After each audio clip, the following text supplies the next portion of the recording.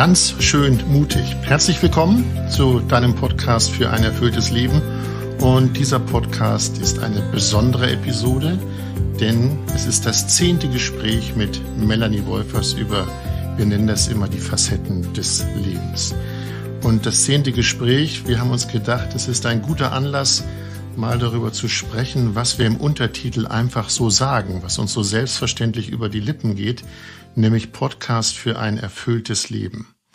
Doch was heißt das eigentlich, ein erfülltes Leben? Und genau darüber wollen wir sprechen, über ein erfülltes Leben, nämlich mit der Philosophin, Theologin und Bestsellerautorin Melanie Wolfers und wie immer ein Hallo Melanie. Hallo Andreas.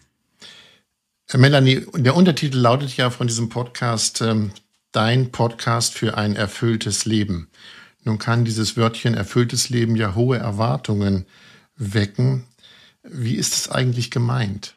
Hohe Erwartungen sind ja durchaus etwas Positives oder etwas, was okay ist. Das Problem, denke ich, wäre, wenn dieser Untertitel falsche Erwartungen weckt. Also so im Sinne von, naja, wenn ich diesen Podcast höre, dann erfahre ich die sieben ultimativen Tipps, äh, Handreichungen, mhm. äh, wie es geht, ein erfülltes Leben zu führen. Und ich glaube, das ist eine falsche Erwartung, weil das unrealistisch ist. Das Leben ist viel komplexer und ähm, unvorhersehbarer und auch reicher, als dass ein einfaches Rezept von zehn, sieben oder drei Tipps und Hinweisen das Rezept vorgeben, um ein erfülltes Leben zu führen. Vielleicht kommen wir dem Begriff doch ein bisschen näher. Ich habe gesagt, das ist die zehnte Episode und wir haben ja in den vergangenen Episoden über Freude gesprochen, über die Tatsache, sich entscheiden zu wollen, über Vergebung, über Zuversicht und wir haben über Mut und Stille gesprochen. Wenn wir uns das mal vor Augen führen, würdest du sagen, das sind so eine Art, ich nenne es mal, Zutaten, um einem erfüllten Leben, ich formuliere das ganz vorsichtig, näher zu kommen? Ja, ähm, ich denke, das ist so der rote Faden, der sich auch durch die verschiedenen Themen durchzieht, über die wir miteinander sprechen. Wir sprechen ja über Erfahrungen und Fragen, die so im Leben eines jeden Menschen immer mal wieder auftauchen. Also was wie gelingt es, dass ich eine gute Entscheidung treffe? Wie bekomme ich mit, worauf es mir ankommt? Wie werden meine Beziehungen lebendig? Das sind so Fragen, wo es immer um die eigene Existenz geht. Das heißt, wir stellen uns existenzielle Fragen, die mit unserer Persönlichkeit und unserer Lebensgestaltung zu tun haben. Und der rote Faden, der sich da durchzieht, ist, denke ich, die Frage, die so wesentliche Frage, ja, was ist ein gutes, ein erfülltes Leben und was kann ich dazu beitragen, dass ich ein erfülltes Leben führe? Mhm. Eine Frage, die ganz, ganz wesentlich ist, die im Alltag, denke ich, manchmal eher untergeht, aber in manchen Lebensphasen eben aufpoppt. Und wir wollen diesen Fragen Raum geben. Du hast eben gesagt, äh, die Frage, was ist ein erfülltes Leben? Nun kann ich mir vorstellen, dass es doch die Sehnsucht gibt von manch Hörerinnen und Hörer, die beiden reden da über erfülltes Leben. Können die mir sagen, was das ist, erfülltes Leben, Melanie? Könnten wir das? Oder ist das zu groß, zu viel, eine Überforderung? Ich denke, die erste Antwort auf die Frage, was ist ein erfülltes Leben, lautet, schau in dein, schau in dein eigenes Leben hinein. Deine Geschichte, deine Lebenserfahrung zeigt dir, was dich belebt, was dich erfüllt, was Zutaten eines Tages waren, an dessen Abend du sagen kannst, das war ein erfüllter Tag. Also das, glaube ich, ist so die erste Antwort äh, bei der Frage, was ist ein erfülltes Leben? Es gibt keine generelle, allgemeine Antwort darauf, was erfülltes Leben ist, sondern was jemand darunter versteht, kann immer jemand nur selbst im letzten erkennen und auch gestalten. Das heißt, es gibt keine allgemeingültige Definition, wenn du das und das gelebt hast oder das und das leben wirst, dann kannst du irgendwann sagen, ja, das war ein erfülltes Leben. Eine allgemeine gültige Definition gibt es nicht. Ich meine, man kann natürlich sagen, ein erfülltes Leben ist ein Leben, wo ich am Abend eines Tages oder am Abend des Lebens sagen kann, ich kann es als Ganzes bejahen. Aber das ist natürlich eine formale Antwort. Mhm. Die inhaltliche Antwort, wann ich denn mein Leben als erfüllt erlebe, ist immer etwas, was mit meiner Individualität, mit meiner Persönlichkeit, mit meiner Lebensgeschichte zu tun hat. Das heißt, da sind wir immer wieder selbst gefragt. Also der eine sagt, für mich war es ein erfüllter Tag. Ich bin heute früh von der Arbeit gekommen, relativ früh zurückgekommen und habe mit meinen Kindern gespielt und da haben wir schön zu Abend gegessen. Die nächste erzählt, ich war am Wochenende mit Freundinnen im Stadtteil und in einem, das wir nicht kennen und haben einfach mal ein fremdes Stadtteil erkundet und wie witzig und komisch die Leute da drauf sind. Also Neugier befriedigt. Oder äh, jemand anders sagt, ich war ganz konzentriert in eine Tätigkeit vertieft, die mir wichtig ist. Das ist sehr unterschiedlich. Und zugleich gibt es natürlich auch so Grundkonstanten, würde ich mal sagen, die zu einem erfüllten Leben gehören. Du hast vorhin von Zutaten gesprochen. Mhm. Es ist also einerseits eine individuelle Antwort, aber nie nur persönlich, weil wir eben auch alle Menschen sind. Mhm. Du hast eben so Tage genannt oder Ausschnitte des Lebens. Würdest du denn sagen, wenn wir von erfülltem Leben sprechen, sind das immer so Passagen im Leben, einzelne Abschnitte? Oder kannst du dir auch vorstellen, dass jemand von sich sagt, mein gesamtes Leben betrachte ich als erfüllt? Ja, damit ist, glaube ich, indirekt wieder die Frage auch nach dem gestellt, was heißt erfülltes Leben. Also wenn ich erfülltes Leben verstehe als also an diesem Tag war die Erfahrung von Wohlempfinden oder von dem, dass es irgendwie ein sinnvoller Tag war, vorherrschend. Das ist dann eher sicher phasenweise unterschiedlich. Manchmal ist es einfach trist und grau und alltäglich und manchmal fühlen wir uns erfüllt. Das sind dann Phasen. Wenn ich erfülltes Leben verstehe als etwas, wo so der ganze Facettenreichtum des Lebens Platz hat und ich damit im Großen und Ganzen zurechtkomme, also mit dem Hellen und dem Dunklen und es als Ganzes bejahen kann, dann ist es etwas, was ich auf das Ganze des Lebens hin betrachten kann oder mir wünschen kann. Also ich glaube, es ist immer auch wieder verbunden mit der Frage, was verstehen wir darunter? Über das Dunkel würde ich gern äh, nachher noch mal reden. Ich wage mal die Frage, Melanie, ziehst du manchmal so Bilanz, habe ich erfüllt gelebt? Gibt es solche Momente, wo du das tust? Also ich ziehe ganz regelmäßig Bilanz. Also Bilanz ziehen hört sich so wirtschaftlich an, aber ich habe kein anderes Wort im Moment. Ja, mhm. ja. Bleiben wir mal. Ich, ich ziehe regelmäßig Bilanz im Sinne von, also bevor ich Bilanz ziehen kann, gilt es ja erstmal überhaupt wahrzunehmen, was war denn an diesem Tag, in dieser Woche, in diesem Monat, in diesem Jahr, in diesem Lebensabschnitt. Und das erste ist also eben wahrzunehmen, was war, was spüre ich, was habe ich gespürt, habe ich Dinge gelebt, die mir wichtig sind, haben Beziehungen, die für mich Bedeutung haben, genug Raum in meinem Leben.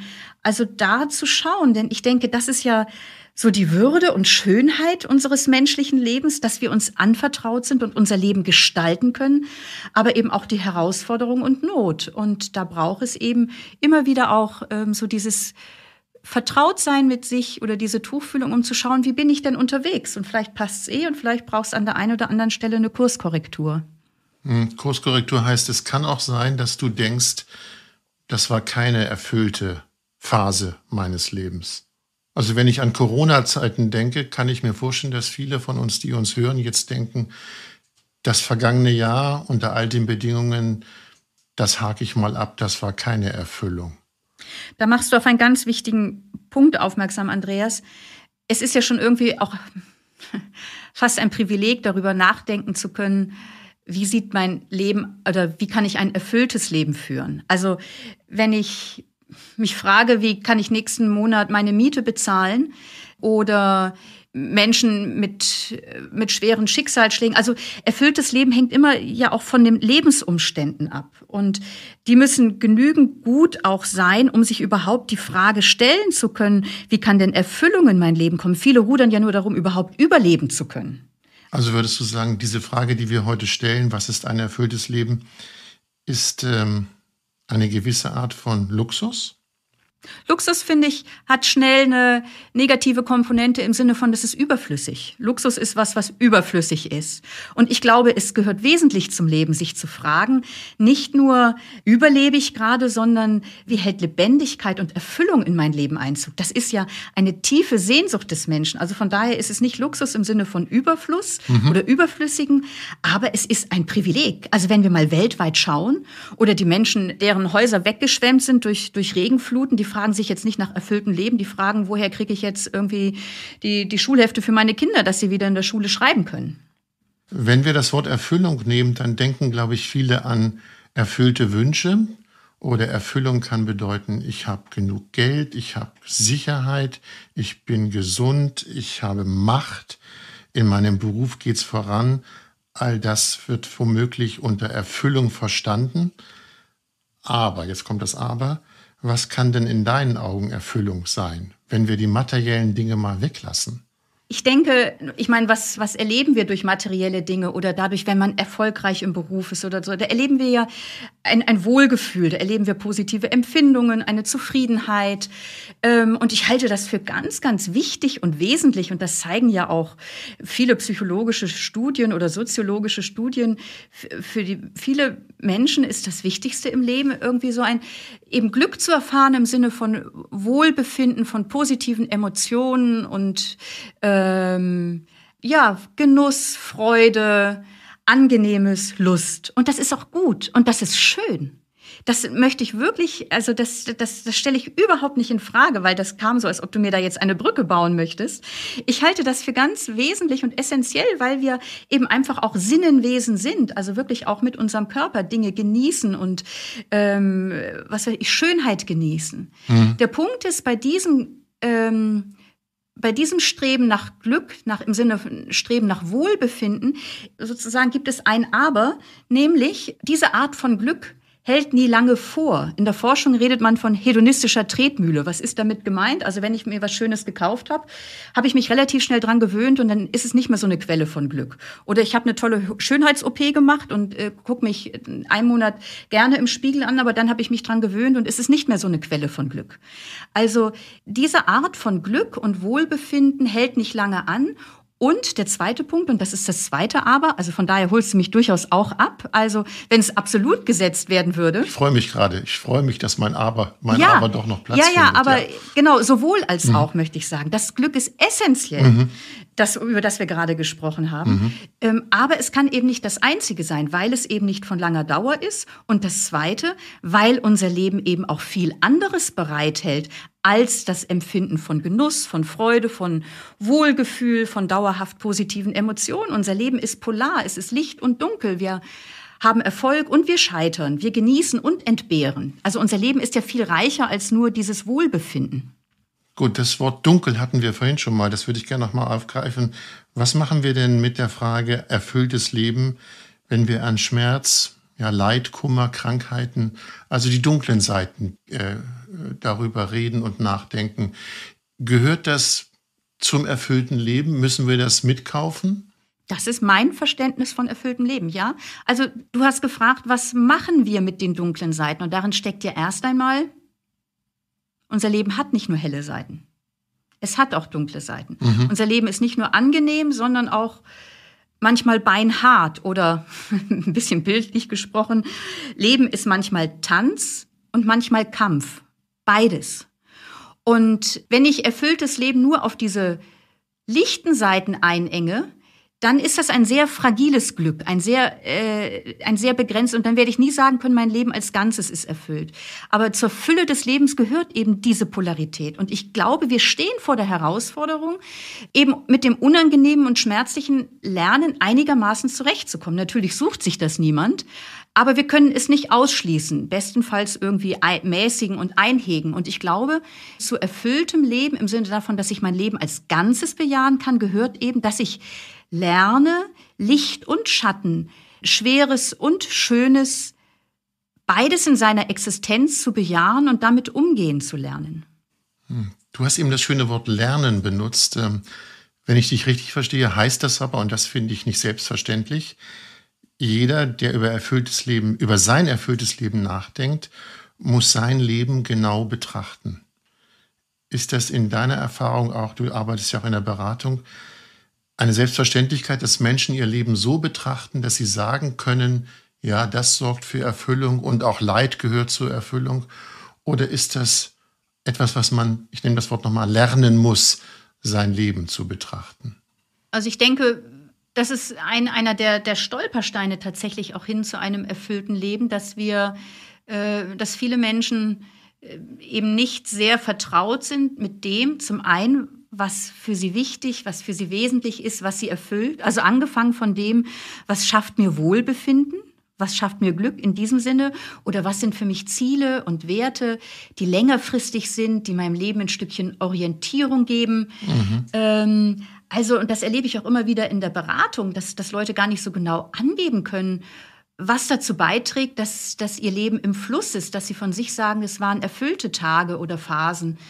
Ähm, und von daher glaube ich, ist es ganz wichtig, und wer meine Podcast oder wer unsere Podcast-Sendung hört oder meine Bücher liest, wird wissen, wie wichtig ich es erachte, immer wieder auch zu spüren, also sich mehrmals am Tag zu fragen, was spüre ich eigentlich? Und dann versuchen, das wahrzunehmen und auch zu benennen und innezuhalten und zu fragen, was geht jetzt in mir vor, wenn ich dieses oder jenes erlebe? Also diese Kultur des Innehaltens und der Vertrautheit mit sich um dann auch Antworten zu finden, ist das oder sind das meine Kriterien für ein erfülltes Leben? Das heißt, sich auf die Spur zu kommen. Stolpersteine, Stichwort Stolpersteine, das benutzt du auch in deinen Büchern, das Wort. Gibt es deiner Meinung nach noch andere Stolpersteine, die uns daran hindern, ein erfülltes Leben zu führen? Ich denke zum Beispiel oder habe mich gefragt, ist das ewige Streben nach mehr womöglich ein Stolperstein für Erfüllung? Mhm. Also das Streben nach mehr, wie, was verstehst du darunter unter dem Streben nach mehr? Also mehr heißt, ich will mehr Geld verdienen, ich will mehr Macht haben, ich will äh, ja, ich will, so wie unsere Wirtschaft und so wie halt, so wie wir halt ticken, äh, es muss mehr werden, es darf nicht weniger werden. Ob diese Sehnsucht nach mehr dazu führt, dass wir womöglich ja ein erfülltes Leben verschenken, uns vergeben sozusagen. Ich bringe es mal auf eine andere Frage. Würdest du sagen, dass dieses Streben nach mehr, höher, schneller, weiter dazu führt, dass man eventuell dann sagen kann, leider feststellen muss, also erfülltes Leben war das nicht? Mhm. Genau, es ist ja die Frage, ähm, wonach streben wir, wenn wir nach dem Meer streben? Also so höher, schneller, weiter. Das ist ja ganz interessant, was zum Beispiel Menschen am Lebensende bereuen, was sie doch, was sie, was sie nicht gelebt haben. Und da sagt keiner, ich hätte mir, ich bereue, dass ich mir nicht so viel gekauft habe oder geleistet habe, sondern ein ganz wichtiger Punkt, äh, was, was Sterbende bereuen, ist, ich hätte mir gewünscht, dass ich mehr meine Beziehungen gepflegt hätte mit Familie und Freunde. Oder ein anderer wichtiger Punkt, ich wünschte, ich hätte mehr den Mut gehabt, mir selbst treu zu sein, anstatt ähm, primär so zu leben, was andere von mir erwarten. Mhm. Ähm, also so eine Außenorientierung und die sicher jetzt nach dem Streben nach höher, schneller, weiter, das wird von uns erwartet. Und ich glaube, wir Menschen laufen häufig mit einem, mit, wie mit einer Antenne herum. Was muss ich tun und was darf ich gar nicht ansprechen, um dazuzugehören? Was ist hip? Und verpassen eigentlich das, was ihnen Freude macht. Ich denke an ein Gespräch mit einem jungen Menschen vor einiger Zeit, der sagte, ja, also eigentlich habe ich totale Freude daran, Bücher über Geschichte zu lesen. Mhm. Aber es ist ja ziemlich uncool. Also äh, eigentlich ist es doch wichtig, dass man Feten geht oder Sport macht oder so. Aber ich finde es eigentlich richtig wunderbar und toll und erfüllend, Bücher über Geschichte zu lesen. Hat das, diese Person hat das aber jahrelang nicht möglicherweise gemacht, weil das halt nicht hip und angesagt ist. Mhm, also sich auf die Spur kommen. Ähm, welche Rolle spielt es da, seine Grenzen zu kennen und zu sagen, das bin ich nicht, das kann ich auch nicht und das überfordert mich? Ein ganz wichtiger Aspekt. Ähm, das hat auch wieder was damit zu tun, nicht primär zum Beispiel von den Erwartungen anderer her zu leben oder von überhöhten Selbstidealen, ich meine, diesen oder jenen Beruf ergreifen zu müssen oder diese oder jene Stellung im, in meinem Betrieb erringen zu müssen ähm, und, und dabei zu übersehen, äh, das entspricht eigentlich gar nicht mir und meinen Gaben, darin überfordere ich mich. Also nach dem zu, innerhalb dessen, was wir gut leben können, finden wir auch Zufriedenheit. Mhm. Und eben darin auch zugleich zu fragen, nicht nur Grenzen anzuerkennen, sondern was geht mir gut von der Hand. Also du hast vorhin so eingangs gesagt, sind unsere Themen, äh, sprechen wir nicht auch über Zutaten gelingenden Lebens? Und ich glaube, das ist schon eine Zutat gelingenden Lebens, dass wir etwas tun, mhm. woran wir Freude haben und was Bedeutung für andere hat, was wir als sinnvoll erfahren, wo wir über unseren eigenen Tellerrand hinaus auch für andere bedeutsames tun. Und das heißt nicht gleich die Welt retten, sondern vielleicht bin ich im Tierheim und führe Hunde aus. Ja, aber das heißt, äh, aber erlebe, dass denen das gut tut, den Hunden. Aber wenn ich dich richtig verstehe, heißt das auch, ähm, seinen äußeren Zwängen bewusst werden und diese womöglich ablegen. Aber das kann ja nicht jeder, ne? Es gibt ja Zwänge, die dazu führen, dass ich das machen muss. Selbstverständlich. Und da sind wir jetzt wieder bei dem Punkt. Und da möchte ich äh, also, inwieweit äh, gehört auch Schweres, Tristes, Widriges zu unserem Leben? Ich möchte ein Bild bringen. Ja, das meine ich. Ähm, und zwar wirklich das Bild eines Bildes. Also vielleicht kann man unser Leben vergleichen mit einem Gemälde. So die Leinwand ist unsere Lebenszeit, die uns gegeben ist und das Leben stellt uns verschiedene Farben zur Verfügung. Helle und dunkle, ähm, transparente und ganz kräftige. Ähm, und manchmal male ich halt gerade, weil mein Leben sich gerade, weil alles gerade so im Fluss ist, male ich mit vielen hellen Farben.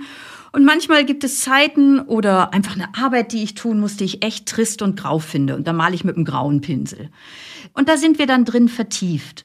Oder ein Bild wird auch langweilig, wenn es nur helle Farben hätte. Oder wenn ich immer nur Bilder malen würde, nur mit Schwarz, ist es auch nicht sehr, äh, sehr anregend auf Dauer. Und von daher glaube ich, ist es wichtig, für ein erfülltes Leben immer mal wieder einen Schritt zurückzutreten, nicht immer im einzelnen Pinselstrich vertieft zu sein, sondern einen Schritt zurückzutreten und auf das Ganze meines Bildes zu schauen und zu sagen, ja, das ist hell, das ist dunkel. Hier möchte ich noch mal einen anderen Strich setzen. Und ja, im Rückblick kann ich erkennen, dass diese dunklen Farben im Großen und Ganzen Sinn machen meines Lebens.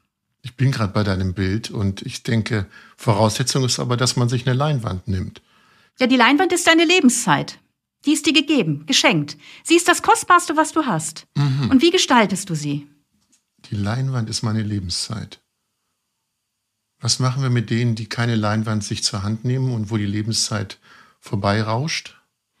Äh, ich glaube, also wahrscheinlich verstehen wir das Bild gerade unterschiedlich. Und du, du machst mich nochmal darauf aufmerksam, dass ich es vielleicht auch nochmal besser auf den Punkt bringe. Nein, ich wollte dich nicht ermahnen. Ich bin bei dem Bild, dass ich, dass ich eine, dass ich, wenn ich mit den Farben spiele, das gefällt mir, aber ich brauche genau. eine Leinwand. Und was machen wir mit den Menschen, denen noch gar nicht klar ist, dass sie eine Leinwand brauchen? Dass sie sich dieses, diesen, diesen, diesen Rahmen, diese, diese Grundlage schaffen müssen. Das ist doch erstmal wichtig. Ja, also in dem, wie ich es vor Augen habe, was ich sagen wollte, ist die Leinwand unsere Lebenszeit, die uns geschenkt ist. Und die hat ja nun jeder. Mhm. Die Lebenszeit ist das kostbarste Gut, was, was uns gegeben ist. Und es ist letztlich die Frage, lasse ich andere meine Leinwand bemalen oder, oder lebe einfach nur oder male nur nach Schablonen, mhm. ähm, wie man zu leben hat. Ähm, zu einem erfüllten Leben gehört, ähm, jung auszusehen, auch wenn ich 60 bin, fit zu sein, erfolgreich zu sein, eloquent, ähm, keine Ahnung was, viel zu besitzen. Also orientiere ich mich an Schablonen oder komme ich dem Stück für Stück mehr auf die Spur, was ist mein Lebensgemälde? Wer bin ich? Wer möchte ich sein? Was, wie möchte ich die Farben? Das, sind, das ist jetzt natürlich alles in einem Bild, aber wie gesagt, das, das Leben stellt uns, denke ich, helle und dunkle Farben, helle und positive und schwierige Erfahrungen zur Verfügung und wie, wie mache ich daraus ein Ganzes meines Lebens? Ja, das Bild ist gut. Und natürlich, ja. du stellst die zentrale Frage, und darum gibt es unseren Podcast, Andreas, finde ich, dass wir ähm, was machen, was ist mit den Menschen, denen gar nicht bewusst ist, dass ihr Leben eine einmalige mhm. Chance ist ähm, und an ihnen das Leben vorbeirauscht. Also ich glaube, im Leben eines jeden Menschen poppen immer mal wieder die wichtigen Fragen auf. Was ist ein gutes Leben? Wie, wie können wir unser Leben gut miteinander gestalten? Und wir wollen doch, denke ich, genau das hier eröffnen, dass Leute ein Stückchen zurücktreten, auf ihr Bild schauen und sagen, ja, da passt eigentlich was. Und hier nee, da muss ich irgendwie, möchte ich ein Stückchen anders meinen Lebensweg weiterschreiben, weitermalen. Also Leben nicht als Selbstverständlichkeit betrachten? Absolut. Nicht, also das Leben nicht als Selbstverständlichkeit betrachten. Und ich glaube, das ist so ein Schlüssel wirklich auch zu einem erfüllten Leben. Das ist, jetzt ist mir jetzt auch in letzter Zeit wirklich nochmal so neu aufgegangen. Zum einen in der Corona-Zeit, aber auch in der Begleitung und Beratung von anderen. Wirklich so, ich glaube, einer der wesentlichen Schlüssel zum erfüllten Leben, erachte nichts als selbstverständlich. Wenn du in einer Freundschaft lebst, erachte die Freundschaft nicht als selbstverständlich. Du hast kein Recht darauf, dass dir die Freundschaft morgen auch noch geschenkt ist oder in einer Beziehung, in einer Ehe. Oder erachte es nicht als selbstverständlich, dass, äh, dass du morgens aufwachst einigermaßen schmerzfrei. Ähm, also so irgendwie so diesen Blick zu lenken auf das Gewöhnliche und Vertraute, in dem viel an guten Erfahrungen auf uns wartet, wenn wir nicht einfach nur aus Gewohnheit leben und dafür blind sind. Melanie, jetzt muss ich diese Frage stellen. Du lebst ja als Ordensschwester und wir reden über erfülltes Leben. Und ich habe mich in der Vorbereitung dieses Podcasts gefragt, ja, lebt Melanie Wolfers womöglich ein erfüllteres Leben als andere, weil sie den Glauben hat? Langes Schweigen. also, Ein erfüllteres Leben, ich gucke ja nicht in andere rein, da kann ich nichts zu sagen. Ich kann nur sagen, dass ich ein, den Eindruck habe, dass ich im Großen und Ganzen, ja doch, dass ich ein erfülltes Leben führe oder dass für mich, ich bin in die Ordensgemeinschaft eingetreten ähm, und bin Ordensfrau geworden, weil ich darin den Eindruck habe, darin liegt für mich ein Mehr an erfülltem Leben. Also dieses Streben nach mehr finde ich ja auch wichtig. Aber halt nicht mehr im Sinne von schneller, höher, weiter, sondern mehr im Sinne von Sinnerfüllung, von innerem Frieden, von dem zu leben, worauf es mir ankommt. Und als Ordensfrau lebe ich ganz wesentliche Dinge oder Dinge, die mir ganz wesentlich sind, dass ich gemeinsam mit anderen lebe, mhm. dass ich einen einfachen, hoffentlich nachhaltigen Lebensstil lebe, dass ich Zeit habe für Stille und Gebet und durch meinen Lebensstil angehalten werde und durch meinen Lebensentwurf immer wieder in die Stille zu gehen und mit diesem göttlichen Geheimnis des Lebens in Berührung zu kommen, das in der Tiefe, glaube ich, Erfüllung schenkt. Hm. Du gehörst dem Orden der Salvatorianerinnen an. Und was ich darüber laienhaft weiß, spielt Genügsamkeit eine große Rolle. Ist das richtig? Genügsamkeit, also sagen wir mal so, je nachdem, wie du das jetzt verstehst. Also ich meine, Genügsamkeit zum einen, das ist ein, ein, ein Wesenselement überhaupt vom Ordensleben. Ja. Also nicht nur von uns Salvatorianerinnen, sondern von Ordensleben. Also wir haben eine gemeinsame Kasse, wir versuchen einen einfachen Lebensstil zu pflegen, weil wir glauben, dass das zum einen unsere Welt braucht. Ich glaube, das ist eine ganz wichtige gesellschaftliche und politische Tugend. Mhm. Und weil wir glauben, dass es Erfüllung nochmal in einer anderen Art und Weise gibt als mehr Besitz, mehr Haben, mehr Konsum. Das war jetzt meine Frage ob Genügsamkeit oder ein genügsames Leben womöglich eine wunderbare Voraussetzung ist, sich sagen zu können, ich habe ein erfüllteres Leben. Mhm. Weil ja gewisse Dinge wie Streben nach in meinem Denken nicht so wichtig sind. Hm. Ähm, also zwei Aspekte kommen mir da auf deine Frage. Also so zum einen, das ist schon ein, glaube ich, ein Element, das zu einem erfüllten Leben beitragen kann, so, ja, mein Leben, es ist gut genug. Also nicht immer dieses Streben nach Optimierung, sondern es ist gut genug.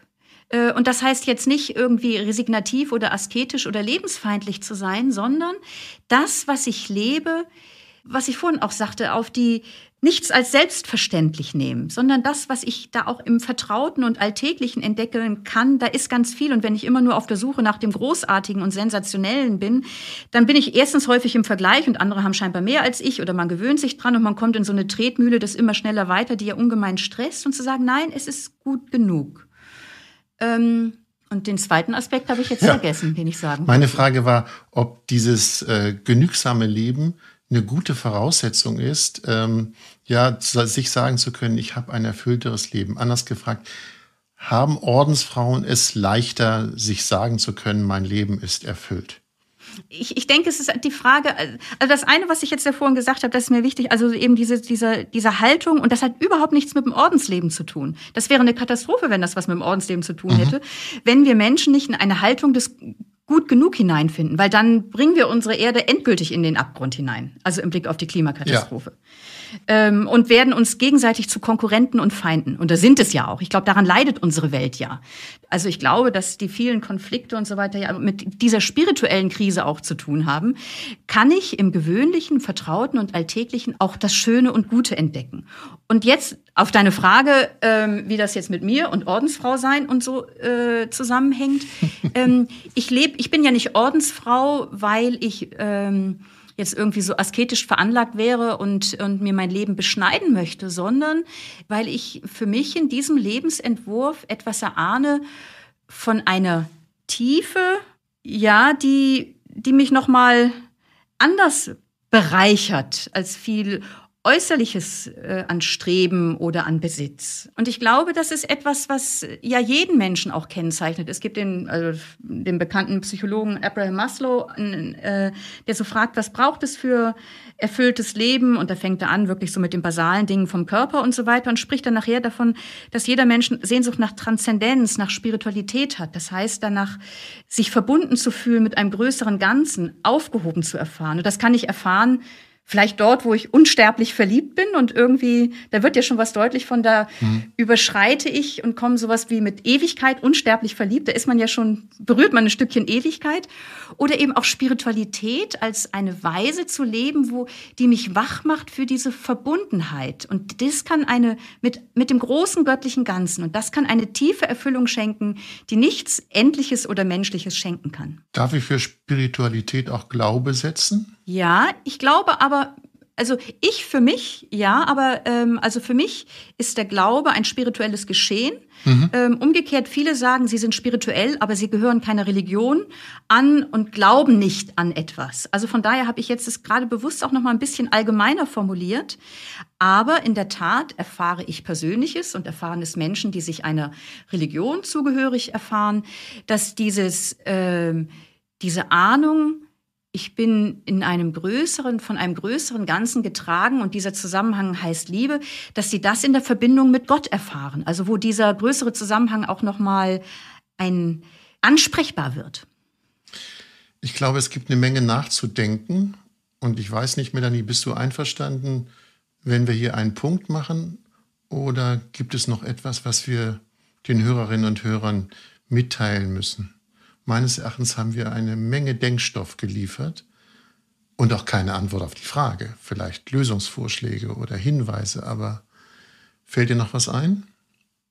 Ja, vielleicht so, ähm, es ist hilfreich bei der Suche nach dem erfüllten Leben oder dem, dass ich weiß, worum es mir geht oder so, nicht auf den großen Knall zu warten, sondern wirklich so zu sehen, ja, dieser Augenblick, den ich jetzt gerade lebe, der ist keine Generalprobe, er ist mein Leben und dafür wach zu sein.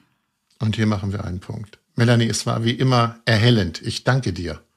Mach es gut. Danke für das Gespräch, Andreas. Tschüss und bis bald. Das war ganz schön mutig, äh, die zehnte Episode.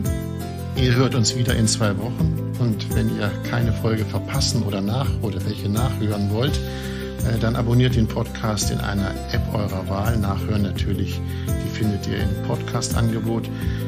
Wichtig für uns, wir freuen uns über Lob, Kritik und ja, wir freuen uns auch über schnell geklickte Sternchen, auch das ist ganz schön. Und wir wollen hören, was euch beschäftigt, äh, was liegt euch auf der Seele, über welche Themen sollten wir mal reden. Ihr könnt uns schreiben, podcast at melaniewolfers.de, also podcast at melaniewolfers.de und weitere Informationen zu Melanies Bücher äh, findet ihr auf der Seite melaniewolfers.de. Wem das alles zu viel war, in Ruhe nachlesen könnt ihr das, äh, die Infos und Links auch in den Show Notes dieser Episode. So viel für heute, das zehnte Mal. Wir machen weiter so, ganz schön mutig. Macht es gut, bis dahin.